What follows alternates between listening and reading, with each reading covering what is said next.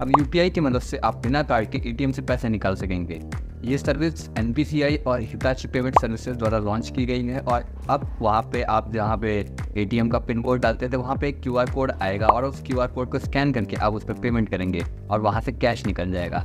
ये सर्विस काफ़ी अच्छी है और ब्लूटिक की तरफ़ से इसको मिलता है ब्लू टिक और ऐसे ही और इन्फॉर्मेशन जानने के लिए हमारे चैनल को ज़रूर सब्सक्राइब करें। Thank you